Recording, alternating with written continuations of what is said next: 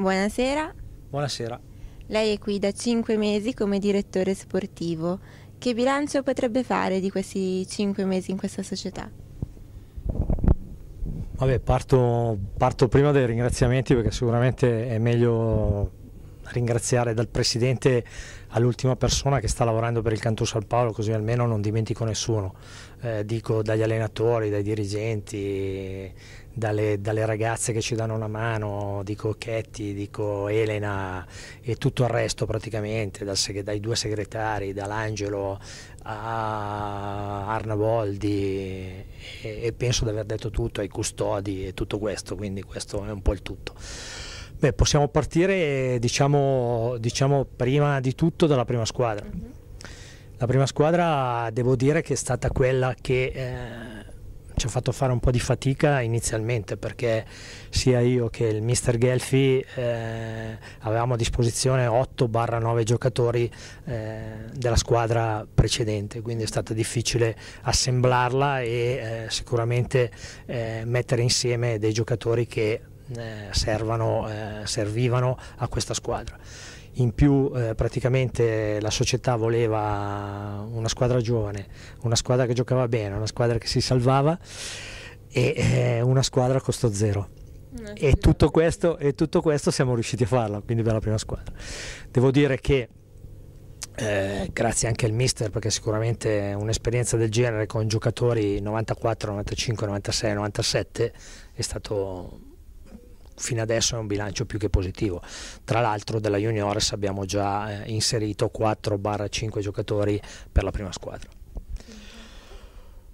Per quanto riguarda la Juniores, eh, la Juniores sicuramente, eh, visto e considerato che arrivava da due anni di vittorie, perché eh, questi ragazzi hanno vinto due campionati a livello giovanile, si sono trovati proiettati in un campionato totalmente diverso e sicuramente più difficile che la Juniores regionale A devo dire che inizialmente hanno fatto un po' di fatica, adesso eh, sicuramente sono partiti col piede giusto perché hanno capito eh, dove sono arrivati, quindi arriviamo da, eh, partite, da tre partite positive, un pareggio e due vittorie, quindi siamo più su di metà classifica, quindi è più che positivo allievi regionali A. Eh, allievi regionali A penso che inizialmente abbiamo avuto dei grossi problemi, vuoi per i ragazzi, vuoi perché non abbiamo capito eh, anche lì la difficoltà di questo campionato, però eh, devo dire che la partita di domenica col Pontisola, visto e considerato che loro erano primi in classifica, non avevano subito neanche un gol, vincendo 1-0 il Cantù, è logico che